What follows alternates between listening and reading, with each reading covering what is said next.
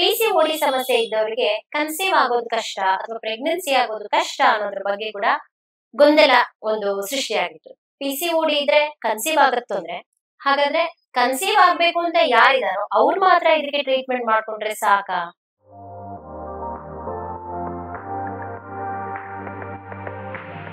ನಮಸ್ಕಾರ. ವಿಜಯ ಕರ್ನಾಟಕದ ಆರೋಗ್ಯ ಸಂಚಿಕೆ ಕಾರ್ಯಕ್ರಮಕ್ಕೆ ನಿಮಗೆಲ್ಲರಿಗೂ ಆದರದ ಸ್ವಾಗತ. ನಾನು ಡಾಕ್ಟರ್ ಪ್ರತಿಭಾ ಕುಲಕರ್ಣಿ, ಆಯುರ್ವೇದ ವೈದ್ಯೆ. ಕಳೆದ ಸಂಚಿಕೆಯಲ್ಲಿ ನಾವು ಪಿ ಸಿ ಈ ಸಮಸ್ಯೆಯ ಒಂದು ಬೇಸಿಕ್ ಇನ್ಫಾರ್ಮೇಶನ್ ಅಂದ್ರೆ ಅದರ ಒಂದು ಮೂಲಭೂತವಾದಂತಹ ಕೆಲವೊಂದು ವಿಚಾರಗಳನ್ನ ಪಿ ಸಿ ಓಡಿ ಸಮಸ್ಯೆಯ ಲಕ್ಷಣಗಳ ಬಗ್ಗೆ ಮಾತಾಡಿದ್ವಿ. ಜೊತೆಗೆ ಪಿ ಸಿ ಸಮಸ್ಯೆ ಇದ್ದವರಿಗೆ ಕನ್ಸೀವ್ ಆಗೋದು ಕಷ್ಟ ಅಥವಾ ಪ್ರೆಗ್ನೆನ್ಸಿ ಆಗೋದು ಕಷ್ಟ ಅನ್ನೋದ್ರ ಬಗ್ಗೆ ಕೂಡ ಗೊಂದಲ ಒಂದು ಸೃಷ್ಟಿಯಾಗಿತ್ತು. ಅದಕ್ಕೆ ನಾನು ಸೂಕ್ತ ಸಮಯದಲ್ಲಿ ಸರಿಯಾದ ಚಿಕಿತ್ಸೆ ಪಡೆದುಕೊಂಡ್ರೆ ಖಂಡಿತವಾಗ್ಲೂ ಕನ್ಸೀವ್ ಆಗೋ ಸಾಧ್ಯತೆಗಳಿದೆ ಅನ್ನೋ ವಿಚಾರವನ್ನ ಹೇಳಿದ್ರು ಹಾಗಿದ್ರೆ ಬನ್ನಿ, ಇವತ್ತಿನ ದಿನ ನಾವು ಪಿ ಸಿ ಓಡಿ ಸಮಸ್ಯೆಯ ಇನ್ನ ಹಲವಾರು ವಿಚಾರಗಳನ್ನ ತಿಳ್ಕೊಳ್ಳೋಣ ಮುಖ್ಯವಾಗಿ ಒಂದ್ ಹೇಳ್ತಾರೆ ಪಿ ಸಿ ಓಡಿ ಇದ್ರೆ ಕನ್ಸೀವ್ ಆಗತ್ತಂದ್ರೆ ಹಾಗಾದ್ರೆ ಕನ್ಸೀವ್ ಆಗ್ಬೇಕು ಅಂತ ಯಾರಿದಾರೋ ಅವ್ರು ಮಾತ್ರ ಇದಕ್ಕೆ ಟ್ರೀಟ್ಮೆಂಟ್ ಮಾಡ್ಕೊಂಡ್ರೆ ಸಾಕಾ ಅನ್ನುವಂತಹ ಪ್ರಶ್ನೆ. ಖಂಡಿತವಾಗ್ಲೂ ಹಾಗಿಲ್ಲ. ಯಾರೇ ಆಗ್ಲಿ, ಯಾವುದೇ ವಯಸ್ಸಿನಲ್ಲಾಗ್ಲಿ, ಒಂದು ಆ ರೀಪ್ರೊಡಕ್ಟಿವ್ ಏಜ್ನಲ್ಲಿ ಪಿ ಓಡಿ ಸಮಸ್ಯೆ ಕಂಡು ಬಂದ್ರೆ ತಕ್ಷಣ ಅದರ ಒಂದು ಚಿಕಿತ್ಸೆ ಮಾಡ್ಕೊಳ್ಬೇಕಾಗಿರೋದು ಅತ್ಯಂತ ಅವಶ್ಯಕ. ಪಿ ಓಡಿ ಬಂದ್ಬಿಟ್ಟಿದೆ ಅಂತ ಹೇಳಿ ಹೆದರೋ ಅವಶ್ಯಕತೆ ಇಲ್ಲ.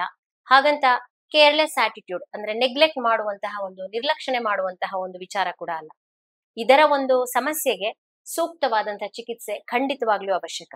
ಅಕಸ್ಮಾತ್ ನಾವು ಸೂಕ್ತ ಸಮಯಕ್ಕೆ ಚಿಕಿತ್ಸೆ ಮಾಡ್ಕೊಂಡಿಲ್ಲ ಅಂತಂದ್ರೆ ಕೇರ್ ಫ್ರೀ ಆಟಿಟ್ಯೂಡ್ ಇಟ್ಕೊಂಡಿದ್ರೆ ಏನಾಗುತ್ತೆ ಅಂತ ಕೇಳ್ತೀರಾ? ಈ ಒಂದು ಸಮಸ್ಯೆಯ ಕಾಂಪ್ಲಿಕೇಶನ್ಸ್ ಅಂತಂದ್ರೆ ಟೈಪ್ ಟು ಡಯಾಬಿಟಿಸ್ ಅಂದ್ರೆ ತುಂಬಾ ಸಣ್ಣ ವಯಸ್ಸಿನಲ್ಲೇ ಡಯಾಬಿಟಿಸ್ ಸಮಸ್ಯೆಗಳು ಬರುವಂತದ್ದು. ನಂತರ ಇದರಿಂದ ಹಾರ್ಟ್ ಏಲ್ಮೆಂಟ್ಸ್ ಕೂಡ ಬರುವಂತದ್ದು. ಕಿಡ್ನಿ ಸಮಸ್ಯೆಗಳು ಕೂಡ ಗುರಿ ಆಗ್ತಾರೆ ಬ್ಲಡ್ ಪ್ರೆಷರ್ ಅಂದ್ರೆ ಹೈ ಬಿ ಪಿ ಇದರ ಜೊತೆಗೆ ಪ್ಯಾರಾಲಿಸಿಸ್ ನಂತಹ ಒಂದು ಸಮಸ್ಯೆ ಕೂಡ ಬರಬಹುದು. ಜೊತೆಗೆ ಈ ಎಂಡೋಮೆಟ್ರಿಯಲ್ ಕಾರ್ಸಿನೋಮಾ ಅಂದ್ರೆ ಎಂಡೋಮೆಟ್ರಿಯಲ್ ಕ್ಯಾನ್ಸರ್ ಇರಬಹುದು ಅಥವಾ ಬ್ರೆಸ್ಟ್ ಕ್ಯಾನ್ಸರ್ ಇರ್ಬೋದು. ಹೀಗೆ ಹಲವಾರು ದೈಹಿಕ ಸಮಸ್ಯೆಗಳು. ಇದಲ್ಲದೆ ಮಾನಸಿಕ ಒತ್ತಡ, ಒಂದು ಡಿಪ್ರೆಷನ್ ಖಿನ್ನತೆ ಅಂತ ಏನ್ ಹೇಳ್ತೀವಿ? ಈ ಸಮಸ್ಯೆ ಕೂಡ ಬರಬಹುದು. ಜೊತೆಗೆ ನಿದ್ರಾಹೀನತೆ. ಆ ಆಯುರ್ವೇದದಲ್ಲಂತೂ ನಿದ್ರೆಗೆ ಅತ್ಯಂತ ಪ್ರಮುಖವಾದಂತಹ ಒಂದು ಸ್ಥಾನವನ್ನ ಕೊಟ್ಟಿದ್ದಾರೆ.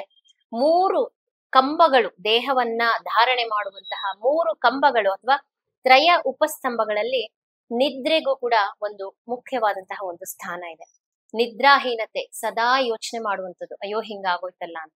ನಂತರ ಸೌಂದರ್ಯ ಸಮಸ್ಯೆ ಕೂಡ. ಅಂದ್ರೆ ಒಂದು ಅನ್ವಾಂಟೆಡ್ ಫೇಶಿಯಲ್ ಹೇರ್ ಇದ್ರ ಬಗ್ಗೆ ಎಲ್ಲ ಮಾತಾಡಿದ್ವಿ.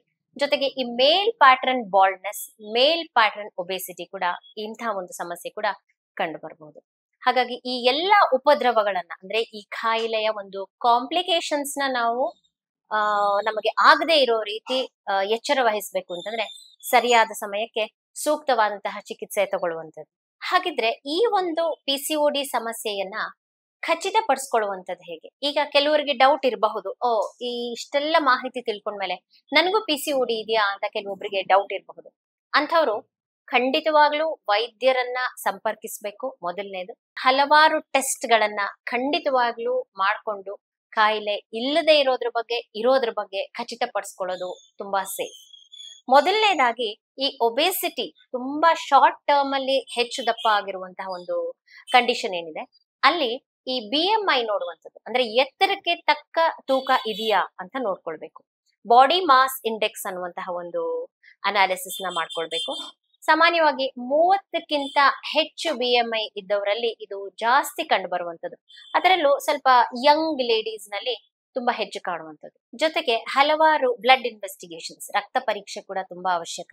ಸಾಮಾನ್ಯವಾಗಿ ಜನರಲ್ ಆಗಿ ಕಂಪ್ಲೀಟ್ ಬ್ಲಡ್ ಪಿಕ್ಚರ್ ಜೊತೆಗೆ F B S P P B S ಅಂದ್ರೆ ಶುಗರ್ ಲೆವೆಲ್ಸ್ನ ನೋಡುವಂತಹ ಒಂದು ಕ್ರಮ ಕೂಡ ಕೈಗೊಳ್ಬೇಕಾಗತ್ತೆ.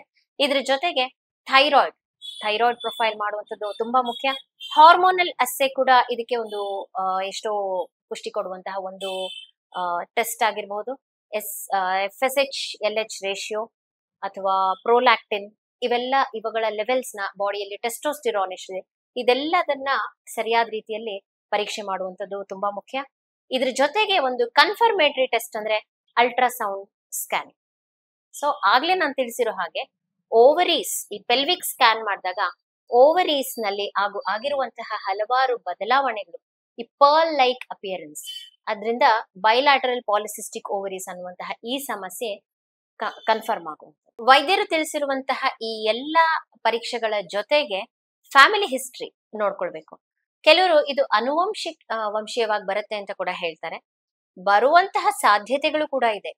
ಯಾರ ಮನೆಯಲ್ಲಿ ತಾಯಂದಿರಿಗಾಗ್ಲಿ, ಅಕ್ಕ ತಂಗಿಯರಿಗಾಗ್ಲಿ, ಈ ಸೋದರತ್ತೆ ಅಥವಾ ಕಸಿನ್ಸ್ಗಳಲ್ಲಿ ಈ ಸಮಸ್ಯೆ ಕಂಡು ಬಂದ್ರೆ ಅಂತಹವರು ಖಂಡಿತವಾಗ್ಲೂ ಎಚ್ಚರ ವಹಿಸಿ ನಿಮ್ಮ ಒಂದು ಡಯೆಟ್ ಇರ್ಬೋದು ಲೈಫ್ ಸ್ಟೈಲ್ ಇರ್ಬೋದು, ಇದೊಂದು ಸರಿಯಾದ ರೀತಿ ಇಟ್ಕೊಳ್ಳೋದ್ರಿಂದ ಖಂಡಿತವಾಗ್ಲೂ ಈ ಸಮಸ್ಯೆ ಸಂಪೂರ್ಣವಾಗಿ ಆವರಿಸ್ಕೊಳ್ಳೋದನ್ನ ಖಂಡಿತವಾಗ್ಲೂ ತಡೆಗಟ್ಟಬಹುದು.